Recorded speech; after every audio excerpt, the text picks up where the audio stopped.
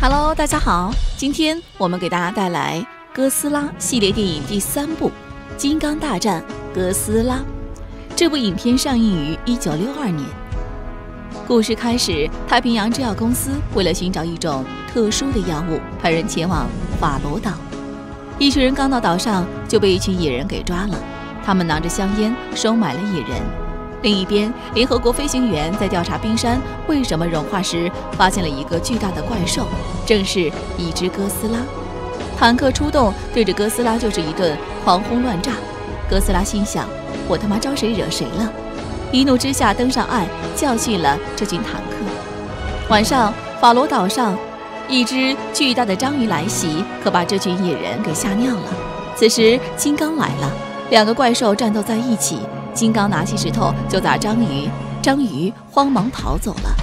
金刚拿起大家采摘的药水喝了起来，喝完就晕了过去。医药人员一看发财的机会来了，准备把金刚运回日本。晚上，哥斯拉又无聊了，再次登陆，四处破坏火车。另一边，金刚酒醒了，开始狂躁起来，挣脱了束缚，跑上岸来。哥斯拉和金刚一起登陆了，两个好基友在山上见面了。哥斯拉直接喷火干掉了一架飞机，向金刚示威。金刚当然也不怂啊，拿起石头就砸哥斯拉。两只怪兽打了起来，哥斯拉喷出光线，烧伤了金刚。金刚立马怂了，转头就走了。哥斯拉继续深入腹地，军队利用汽油吸引哥斯拉过来。哥斯拉跌入陷阱，军队引爆炸弹想炸死哥斯拉，然而他们太天真了。哥斯拉毫发未伤，随后军队通上高压电网，阻拦了哥斯拉。哥斯拉刚走，金刚又来了。金刚竟然不害怕高压电网，轻松破坏了高压电网。一群日本人想坐火车逃走，被金刚拦截。金刚抓了日本女人小美，爬到楼顶，高兴地玩耍起来。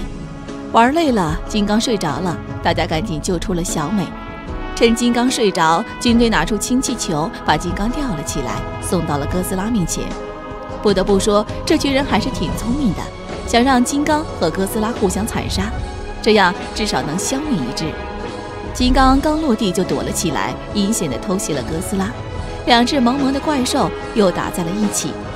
金刚拿起石头对着哥斯拉就是一顿输出。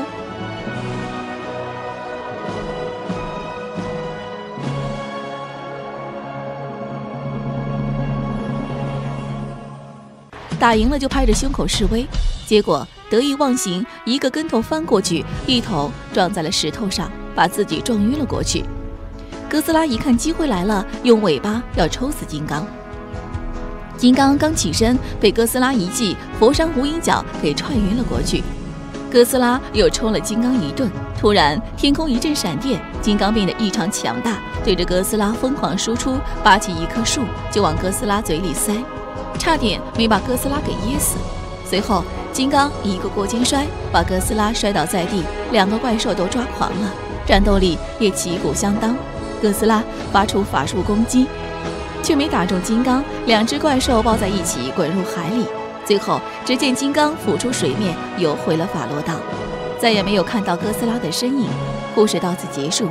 这部影片虽然上映于一九六二年，但其道具十分精良，故事完整性也很高。唯一遗憾的是，他最终也没有交代哥斯拉的去处，也不知道是死是活。